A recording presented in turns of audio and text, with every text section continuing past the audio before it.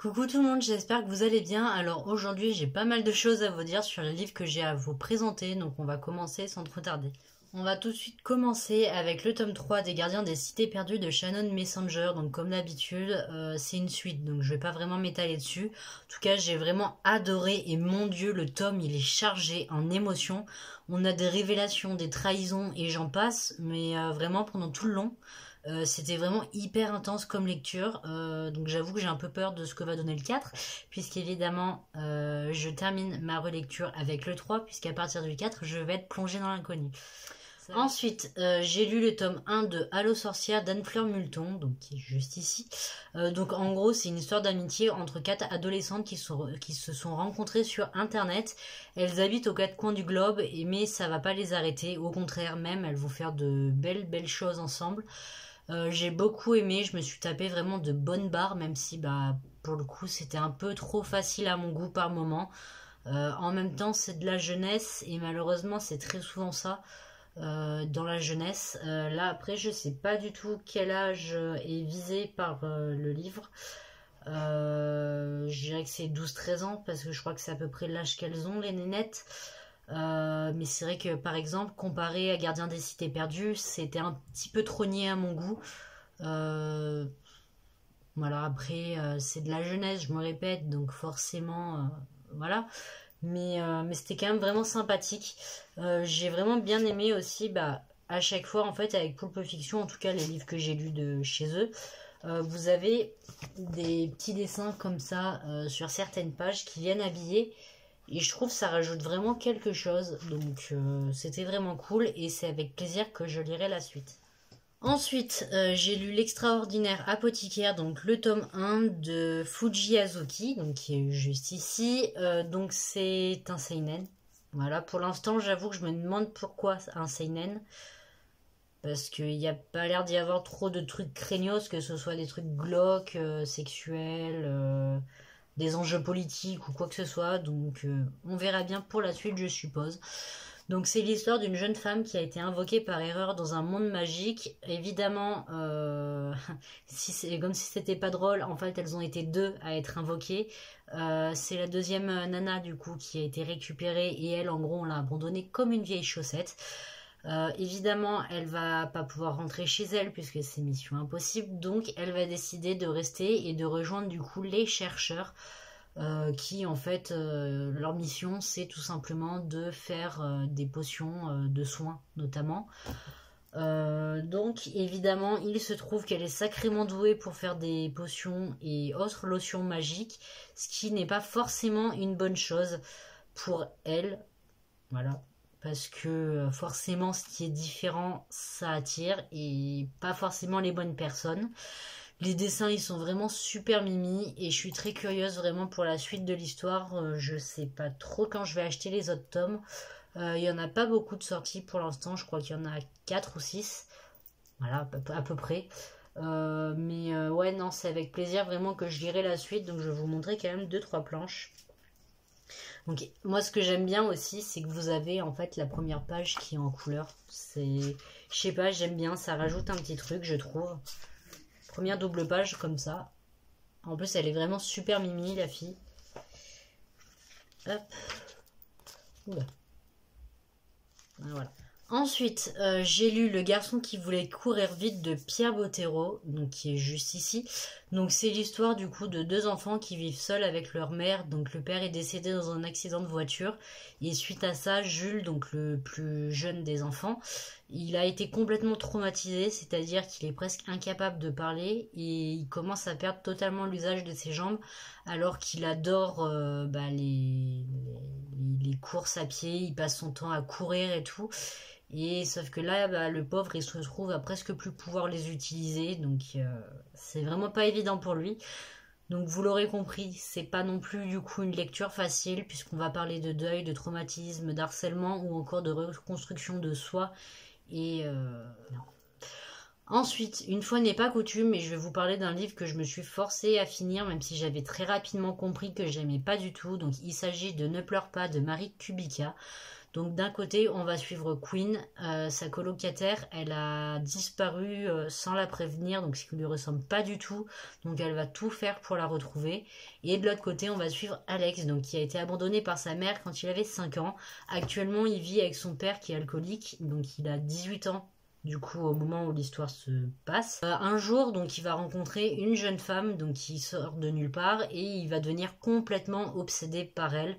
Euh, ce personnage, sincèrement, euh, il m'a profondément dérangé et je pense qu'il est l'une des raisons pour lesquelles j'ai pas du tout aimé. Queen, elle est un peu stupide et franchement parano, mais encore ça passe. Mais alors Alex, Comment vous expliquer Le gars, il traque une nana qui n'a absolument rien demandé, il rêve de la regarder dormir et de mettre la main dans ses cheveux pendant qu'elle dort. Il y a, plein d'autres trucs hyper dérangeants comme ça avec lui. Euh, c'est juste horrible, vraiment. Euh, et puis, euh, vraiment, je parle même pas du scénario qui, franchement, au bout d'un moment, il part en grand n'importe quoi il n'y a aucun sens au bout d'un moment à ce qui se passe. je veux dire, euh, limite, euh, dans le livre, on m'aurait dit euh, il y a un dragon qui est en train de voler et des licornes qui sont en train de péter des arcs-en-ciel. J'y aurais cru. Vraiment, ça n'aurait même pas fait tâche. A encore la fin, pourquoi pas, bah, sauf qu'elle sort de nulle part, évidemment. la goutte d'eau pour moi qui a fait déborder le vase, c'est les deux dernières phrases du livre. évidemment, je vous dirai pas ce que c'est, mais franchement, pour moi, c'est un grand nom. Euh, parce que ça n'a absolument rien à foutre là, surtout qu'on encourage entre guillemets un comportement euh, qui n'est franchement pas le bon et pour lequel on se bat suffisamment et qui fait suffisamment souffrir de gens comme ça. Donc euh, pour moi c'est niette. C'était le premier livre que je lisais de l'autrice, je pense que ce sera le dernier, parce que quand j'ai vu les avis des autres, euh, ils disaient qu'ils avaient déjà été déçus par euh, d'autres de ces livres et après celui-là c'était terminé pour eux. Donc je pense que je, que je vais arrêter ma découverte ici parce que non, en fait.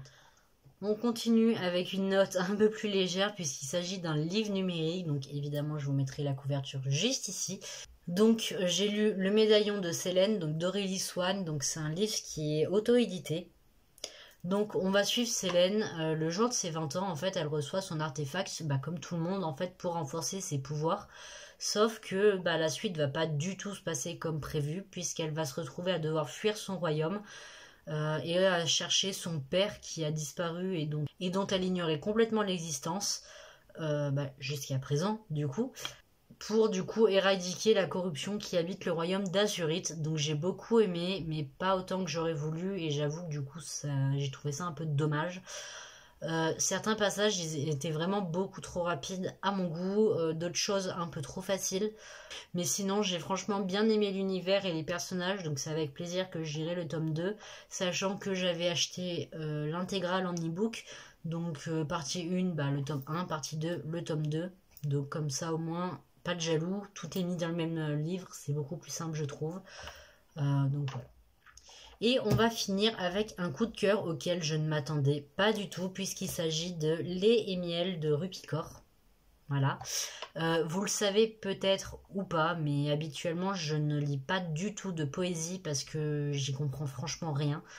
J'ai énormément de mal avec les métaphores et tout ce qui n'est pas premier degré. vraiment, j'ai je, sais pas, mon cerveau il doit avoir un problème. Euh, vraiment, moi vous me faites une blague, il y a moyen que je la comprenne pas. Euh, même si c'est un truc hyper évident, il y a moyen que je capte pas. Voilà. Donc euh, évidemment, quand on sait que dans la poésie il y a beaucoup de métaphores ou de choses de ce genre, habituellement j'évite. Voilà. Je l'ai quand même acheté et lu du coup parce que bah, j'en avais entendu beaucoup de bien et effectivement c'est une lecture vraiment très touchante. Donc on est un peu comme dans le journal intime de l'autrice, puisqu'elle va nous parler de son enfance, de ses premiers amours, de ses ruptures et de sa reconstruction après un passé très compliqué, euh, et surtout de sa construction en tant que femme. Donc on aborde beaucoup de sujets très importants, euh, à mon sens en tout cas, donc euh, comme le viol, les histoires de consentement ou encore bah, de sexualité. évidemment, on a des petites touches de légèreté, mais voilà, globalement, le livre n'est pas forcément très facile à lire. Voilà. Euh, donc ne le lisez peut-être pas si vous êtes dans un mauvais mood. Après, euh, j'avoue que sur la fin, ça, vous dit un peu euh, la vie est belle, souriez, il n'y a pas de soucis, machin et tout. Donc il y a peut-être moyen quand même, mais voilà. Euh, le livre il se lit vraiment très rapidement euh, parce que vous avez des pages en fait où il y a vraiment pas plus de 10 mots même si vous lisez pas beaucoup euh, bah, je vous encourage vraiment à faire une exception pour ce livre parce qu'il en vaut vraiment le détour il est vraiment très très beau et je pense qu'un peu tout le monde devrait le lire voilà ce que j'ai bien aimé aussi c'est que vous avez des pages avec des dessins attendez que je vous montre quand même pas de choses trop bizarres parce que oui il y a des choses bizarres à certains moments voilà. Par exemple, vous voyez, vous avez des pages où vous avez vraiment quatre phrases. Donc, euh, c'est pour ça, vraiment, il se lit très très rapidement. Euh, globalement, en fait, il est fait sous quatre chapitres, si je peux dire ça comme ça. Donc, vous avez du coup souffrir, aimer, rompre et guérir. Voilà, c'est ce que je vous disais. Et euh, c'est vrai que en soi, les quatre se rejoignent un peu. C'est-à-dire que vous n'auriez pas eu ces séparations-là ça aurait vraiment fait comme une histoire en fait qui se déroule au fur et à mesure et, voilà tout simplement. Sur ce, j'espère que la vidéo vous aura plu. Donc comme vous l'avez vu avec les miels, euh, j'ai commencé ma palle de cet été et du coup c'est déjà un coup de cœur pour, euh, le début. Et j'avoue que ma lecture en cours est en bonne passe aussi d'être un vrai coup de cœur. Donc euh, ça me fait vraiment bien commencer ma palle du coup de cet été. En tout cas, si, si la vidéo vous a plu, comme d'habitude, vous pouvez vous abonner, mettre un pouce en l'air et un petit commentaire. Et moi, sur ce, je vous dis à la prochaine. Salut tout le monde